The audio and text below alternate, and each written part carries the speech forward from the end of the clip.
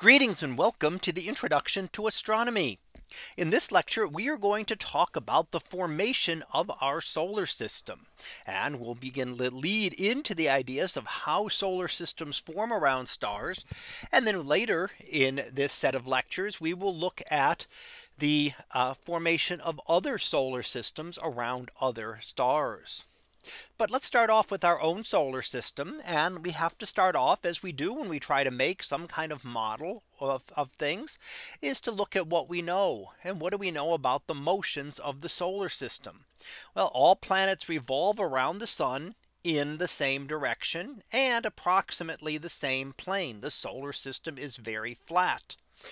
Most planets rotate in the same direction as well and have moons that revolve around them in the same direction. There is definitely a direction to the solar system. When we look at the chemistry of the solar system, we see that the composition changes as you get further from the sun. So when you're close to the sun, we have one kind of composition, which is the metal and rocky terrestrial planets.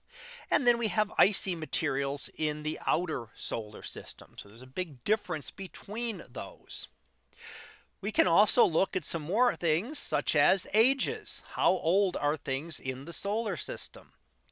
Well, Earth rocks go back 3.8 billion years, moon rocks about 4.4 billion years, very primitive meteorites about 4.5 billion years. And what does this tell us?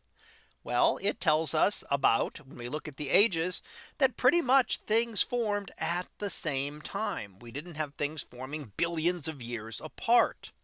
The chemistry tells us that the temperature was important and that impacted what materials were able to condense.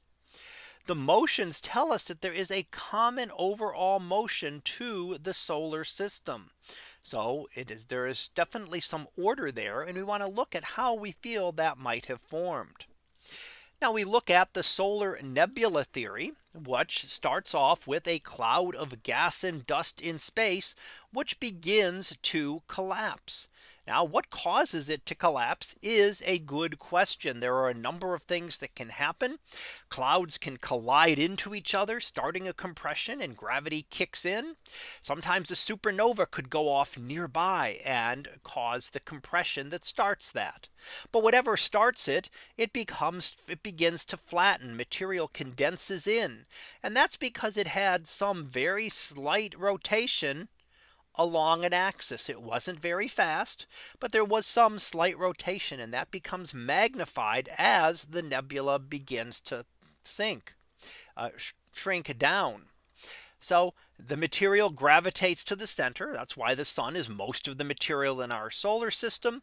The left of the planetesimals form from the remaining debris and that eventually condenses into planets. So it gives us a vague idea of how things started to occur within our solar system. Now this fits of course what we see. How about the temperatures? Well, the high temperatures when you're close to the sun keep the icy materials from condensing. So when you're this close into the sun where the inner planets are, you don't get much icy material.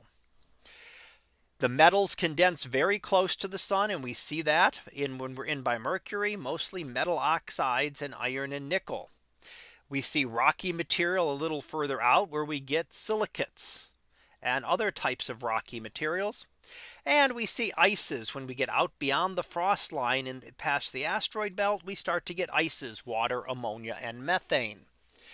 The planetesimals and therefore the planets could only form from the materials that condensed in that region.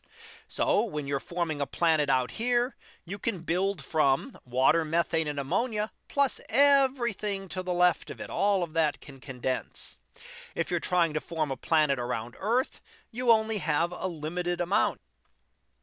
You can only form the material that was within that. So Earth did not get to form with lots of water, ammonia or methane. It has rocky materials and metals that form up the majority of Earth. So it gives you more to build with and gives you bigger planets in the outer solar system and smaller planets in the inner solar system. So what happens to these planets? Planetesimals form through accretion. And some become large enough to attract their neighbors gravitationally and start to grow. We start to form what we call protoplanets, which are getting up to the mass of Mercury. And these start to become dominant. They accrete more planetesimals and throw some material out of the solar system altogether. And the energy causes the planetesimals to become molten. The energy of the accretion cause them to become molten and start to differentiate as we see our planets today. For the Jovian planets, it's similar, but we the one difference is that we have more to build from. We have icy material as well. More material, larger planetesimals. So we've got more to build from. We're going to get larger objects. And they then become massive enough to collect gases through gravity. So Earth was not massive enough to be able to collect things like hydrogen and helium through gravity. The planetesimals that formed Jupiter had more to build with and were able to do this. So much larger protoplanets. This is a relatively short process taking only a few million years as the solar system is forming.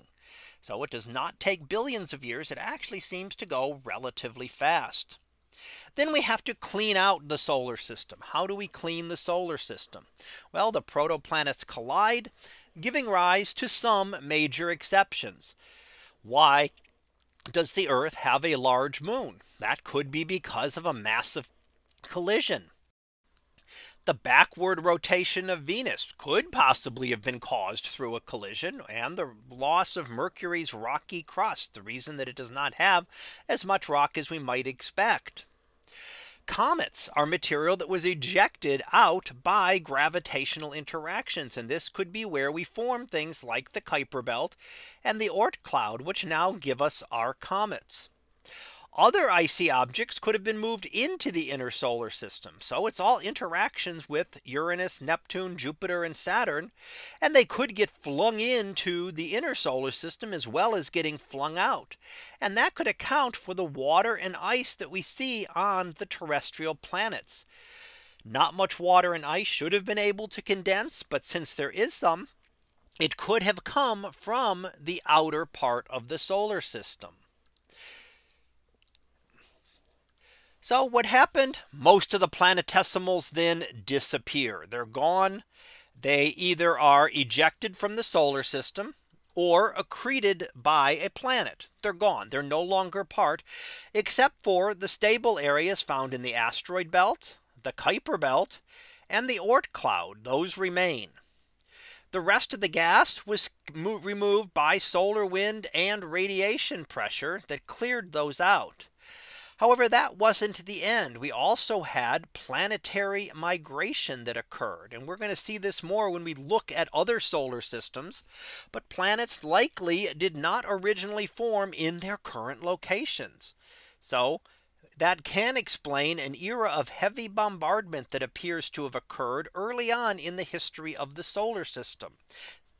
That there was a lot of debris being sent in and explains why that was when the planets were moving and disrupting the orbits of smaller objects. And we will look at that more when we look at planets outside our solar system. So let's go ahead and finish up with our summary.